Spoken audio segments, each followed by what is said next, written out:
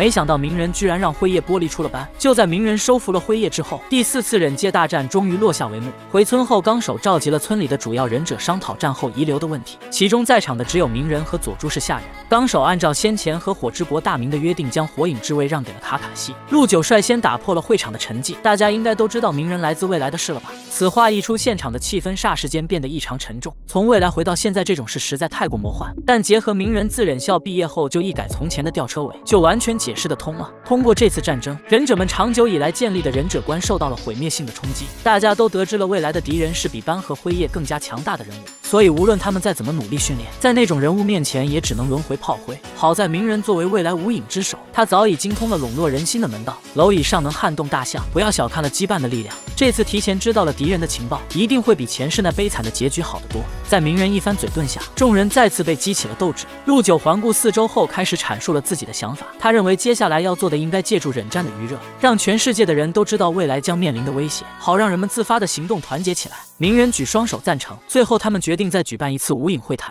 散会后，自来也找到了鸣人。他现在终于知道鸣人为何第一次跟他见面时会如此激动。原来托鸣人重生的福，自来也豪杰物语才没有终结在余影村中。鸣人向自来也道歉，自己隐瞒了他这么久，因为他不想让师傅早早的就承受如此重担前行。自来也闻言大笑了起来，他笑称自己可是传说中的三人。夕阳的余晖洒落在二人的脸庞上，长椅上传来了师徒二人阵阵爽朗的笑声。暂别自来也之后，鸣人用飞雷神来到了辉夜所在的家中。辉夜由于大筒木的天性，天生喜欢种树，为此鸣人扛来了一包花木的种子。而他这次来还有一事相求，那就是是否有办法将被辉夜吸收的斑放出来。辉夜袖中的黑绝一听到斑的名字，吓得直摇头。辉夜听到鸣人的话，若有所思的说道：“要将那人剥离出来也不是没办法，但那人曾经是十尾的人柱力，脱离了哀家的身体，就相当于失去了尾兽的人柱力，并无法存活多久。关于这一点，鸣人让辉夜放心，他自然是有办法。”在他的计划中，斑也是未来对抗大筒木不可缺少的战力之一。看着鸣人那坚毅的眼神，辉夜不再多言，他化身老兔形态后将斑吐了出来。